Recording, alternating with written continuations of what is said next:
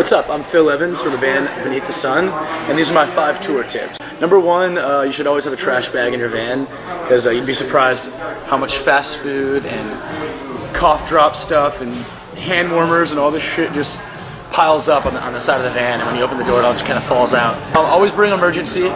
You're around so many germs tonight. You're in a bar. You're talking to people. You're hugging people, and uh, you wake up sick like that, and you can't sing. You have to cancel a show. Always bring blankets and pillows. This is my third one because you never know when you're gonna get the floor at a hotel or at someone's house. And uh, yeah, you'll freeze all night. It sucks. So I always bring my own pillow and like sleeping bag because you'll never know when I need it. My fourth one is uh, always have uh, quarts of extra coolant and oil because you never know when you're going to be in the desert and there won't be a gas station for like 70 something miles. And uh, in our old van, we always need oil and our coolant. You don't want it to overheat. So, uh, and then my last one is uh, budget correctly.